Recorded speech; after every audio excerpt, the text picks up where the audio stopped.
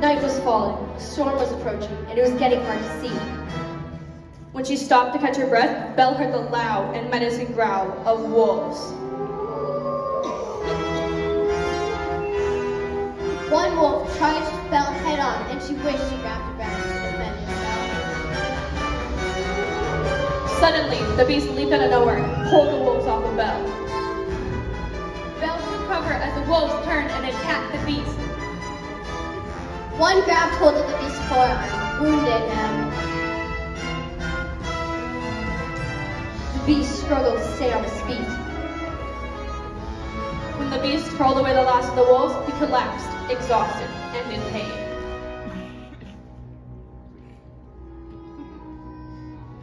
Belle knew that this was her chance to get away, to go home.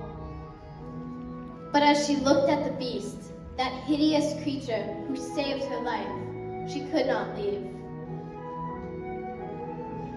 Bella approached the beast and helped him to his feet.